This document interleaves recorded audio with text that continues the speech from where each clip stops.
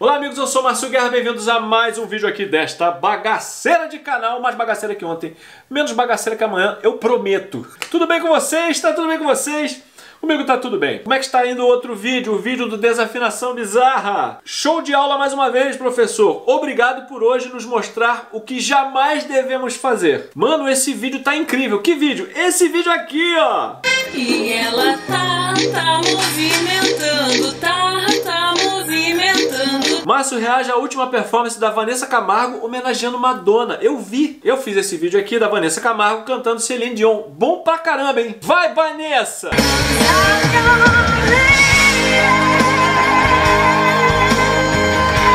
Márcio, você não vai reagir a Vanessa Camargo cantando Madonna? Vou. Márcio reage a Vanessa Camargo cantando Madonna. Tô reagindo! Márcio fala da Vanessa Camargo cantando Madonna. Tô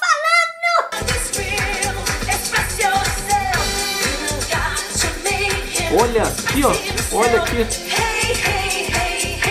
Aí aqui está a performance, eu assisti todinho. São 3 minutos de pura emoção. Emoção pra ela e emoção pra mim, que eu não sei se esse vídeo vai ficar no canal. Assista antes que proíba.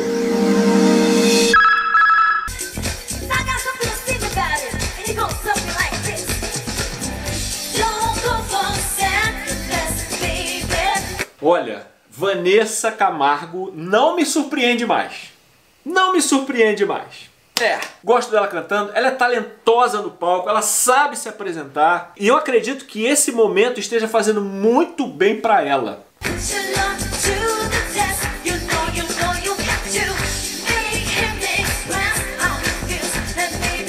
Detalhe, é muito difícil fazer isso aqui ao vivo, hein? Dizem as más línguas que nem Madonna faz isso ao vivo mais, porque precisa em alguns pontos ter um, a voz, né, o playbackzinho ali, para poder descansar um pouquinho. Que tem pontos da música que não dá para fazer depois de uma coreografia, a voz vai ficar desafinada, vai ficar ofegante, e é normal. E várias cantoras que têm performance, né, cantoras que dançam muito no palco, elas usam desse recurso. Não vejo nada demais em usar um pedacinho para poder compor ali e cantar ao vivo também, mas ter um pedacinho ali para poder descansar. Não vejo nada demais. No caso, se ela fez isso, eu não sei ainda. Parece que não.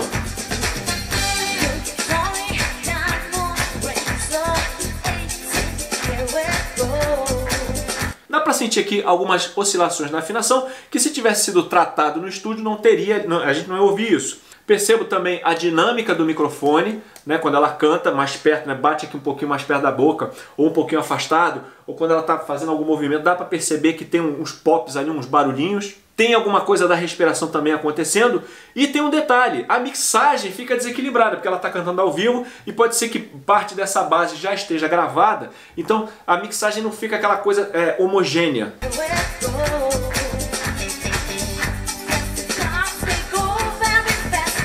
Ó, esse movimento aí, fazer isso aqui, ó, mexendo costelas, as costelas aqui, as costelas musicais. Ficar mexendo as costelas enquanto você canta notas que tem que estar afinadas e notas agudas. Olha como a sua voz chacoalha, chacoalha essa laringe. Olha lá.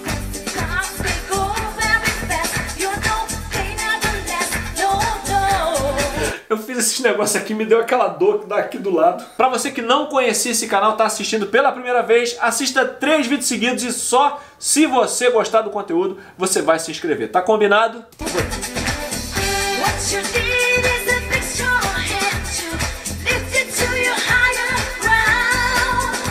Beleza, o tom tá legal, tá tudo certo. E aqui dá pra perceber que a Madonna tem um timbre mais grave. Não tô falando, não tô falando da nota, eu tô falando do timbre da voz. E aqui ela tem a voz um pouco mais clara. O som da voz, o timbre da voz é um pouco mais agudo. Então dá pra perceber que não tem aquele peso do grave da voz da Madonna.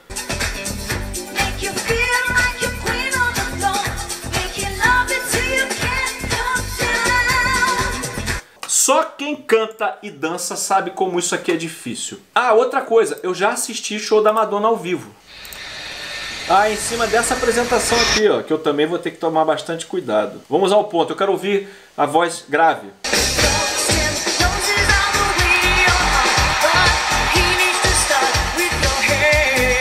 Ó, viu? Como é mais pesada aqui, um pouco mais grave, a massa da voz, timbre é um pouco mais pesado. Era isso que eu queria mostrar pra vocês.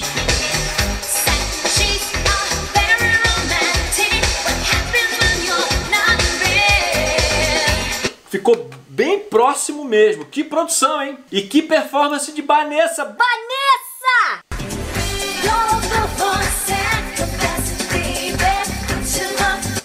Olha o cenário, olha o cenário, olha o cenário. to Pô, fizeram um trabalho maneiríssimo aqui.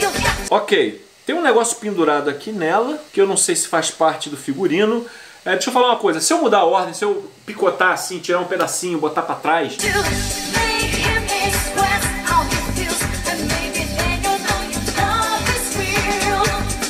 depois passar pra frente, isso é pra gente continuar com o vídeo no canal eu não ter o risco de, de ter o vídeo bloqueado, tá?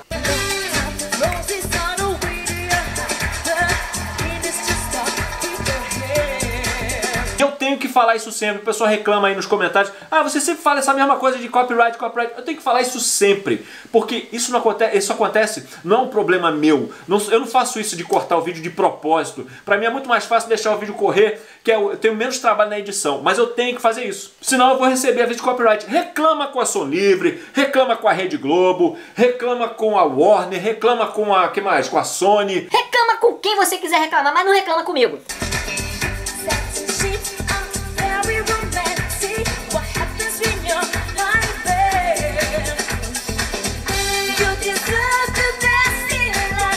Tá, eu quero ver um negócio aqui na Madonna também, que eu quero ver onde é que tá o microfone dela, porque eu sei que o microfone caiu. No caso da Vanessa Camargo, o, o microfone dela tava aqui atrás, caiu. Deixa eu ver onde é que a Madonna botou o microfone dela. Tá atrás também, tá aqui, ó.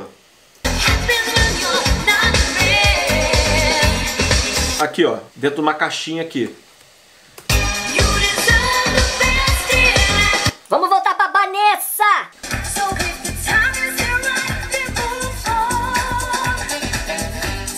Aqui, o microfone tá ali atrás. Ó, tá vendo aqui, ó? Tá aqui atrás. E o dela é bem maior. Eu acho que ela tá carregando duas caixas aqui. Uma pro earphone e uma para esse microfone aqui do lado. São duas caixas diferentes.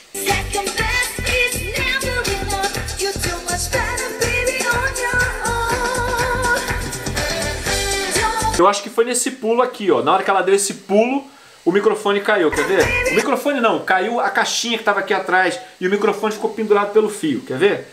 Eu não sei se foi agora, mas eu sei que isso aconteceu. Ela vai pular, ó. Deixa eu ver se foi agora. Não, ainda não foi.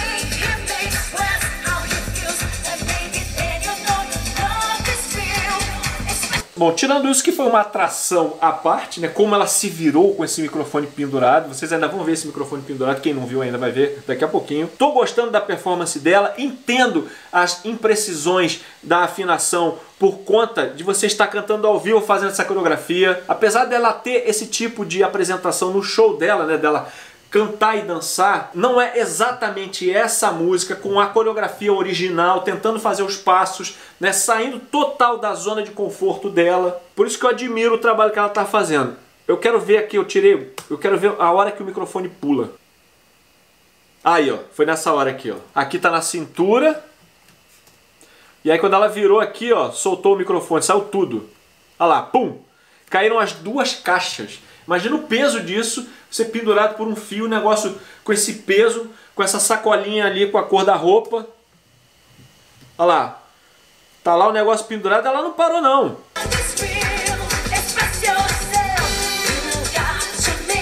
Olha aqui, ó. Olha aqui. Ela deu muita sorte, sabia? Porque isso podia ter desplugado o microfone ela continuar cantando sem nada. Tem uns barulhos, tem pá, uns barulhos.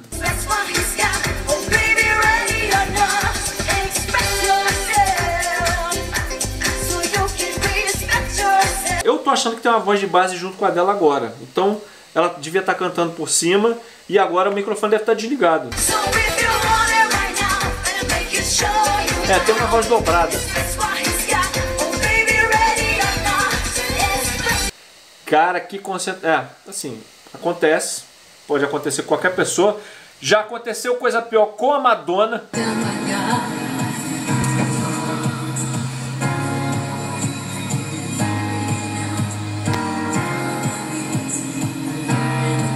E olha que não tem playback.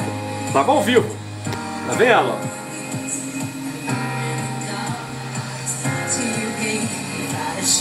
A voz toda trêmula. Ela pode ter se machucado, deve ter doído alguma coisa ali, cotovelo, talvez ombro, talvez esse ossinho aqui da bacia. Cox, pode ter batido o Cox. Então voltando aqui ao momento que o microfone cai, que eu acho que deu até um charme a mais à apresentação dela. Deu mais autenticidade ainda à performance de Vanessa Camargo.